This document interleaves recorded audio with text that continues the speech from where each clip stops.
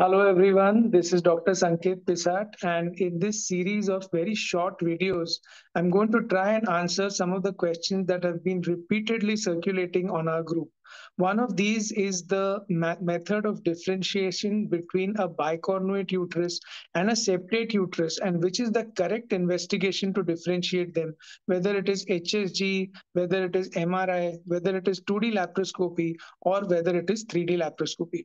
Now, some of the things that you have to understand with respect to this, I'd prefer to draw and show you. So let me just share my screen and we'll see if we can do justice to this topic once and for all so that people are not confused again and again. So let's see this now. When we look at the video or when we look at the drawing, if you notice, this is the external contour of a normal uterus. And when we draw the inside of the uterine cavity, we would draw it like this if it is a normal uterus. So that's what a normal uterus looks like, and we will keep that in perspective.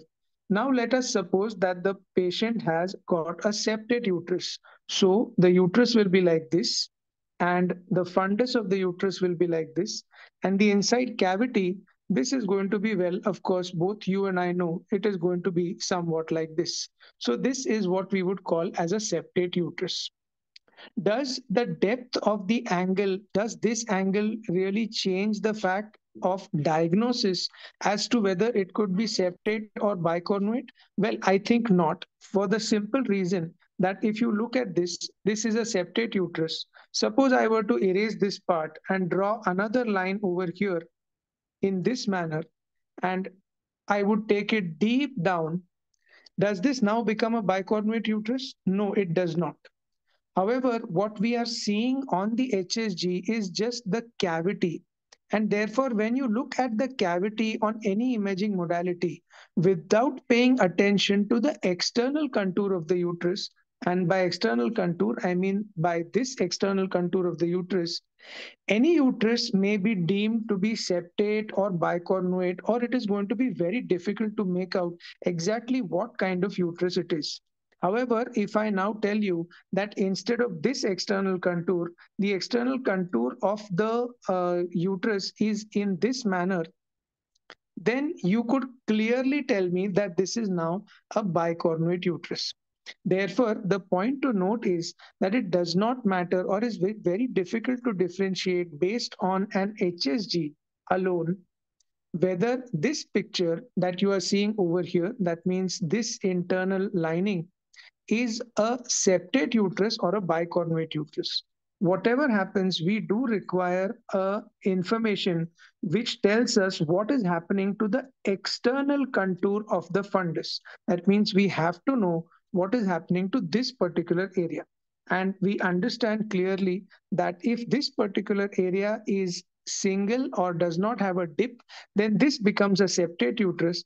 And if this has a dip like this, this becomes a bicornuate uterus. Now, there are variants in this like bicorporeal septate, etc., which we will discuss at some other time. But for now, suffice to say that we require an investigation which tells us what is the external fundal contour of the uterus. And this is possible only in two investigations. One of these investigations is, as you correctly uh, thought of, one of the correct investigations is a 3D USG, and the other uh, correct investigation to diagnose this is an MRI. So purely on the basis of HSG alone, it is not possible to find out what is the external contour. You can take a calculated guess as to whether the uterus is septate or bicornuate, but one cannot definitely be sure. Therefore, when you post a patient, even when you're doing a hysteroscopy, you can imagine that the cavity which is shaded in green may appear to be a septate or a bicornuate either way, but you cannot take a decision on whether to cut this or not unless you know what is the external contour. So the only correct way of finding out or dealing with such a problem is to either have one, a 3D USG before the surgery, which will tell you whether this is septate or bicornuate, or to do an MRI, or third, to do a simultaneous laparoscopy. In the rare event that these cannot be done if someone has done prior laparoscopy and has good notes with pictures of the external fundal contour, one may go ahead and consider this as a septate uterus and not as a bicornuate.